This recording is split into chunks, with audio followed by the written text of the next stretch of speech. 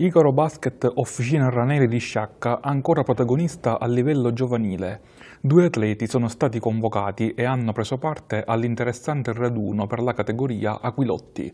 Il raduno ha interessato i migliori prospetti provenienti dalle province di Agrigento, Palermo, Caltanissette e Trapani. Da Sciacca i protagonisti sono stati Sara Monastero e Victor Bisceglie, che hanno disputato un'ottima prova. Una bella manifestazione che ha permesso a tantissimi ragazzini e ragazzine non soltanto di proseguire il loro percorso di crescita con la pallacanestro, ma anche di socializzare e tessere nuovi rapporti di amicizia. È previsto invece per questo pomeriggio, per la categoria Under 14, l'esordio in panchina del nuovo coach Giovanni Luppino. La squadra ospiterà a Ribera i Parietà del Gela. C'è curiosità nel vedere all'opera questo interessante gruppo coordinato da Luppino di Campobello di Mazzara, che già nel recente passato era stato un giocatore della Icaro Basket, allorquando la società disputava i campionati per adulti della CSI.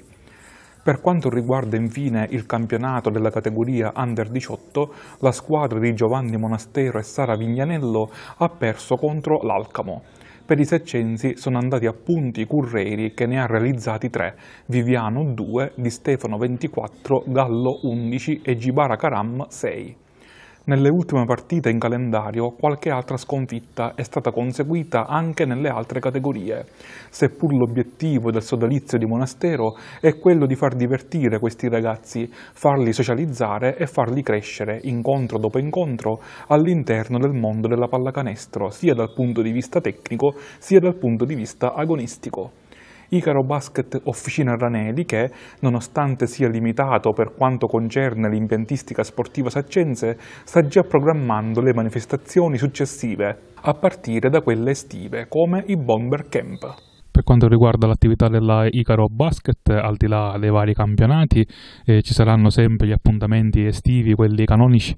Sì, sicuramente. Io domani pomeriggio ho appuntamento con eh, un signore che dovrebbe farci vedere una nuova struttura perché dovremmo allargare, spero, il, eh, il bacino di utenza, non farlo soltanto per le persone di Sciacca ma anche per eh, altre città. Eh, quest'anno dovremmo avvalerci di nuovo della collaborazione di Ivan Drigo e di Alessandro Vigilante.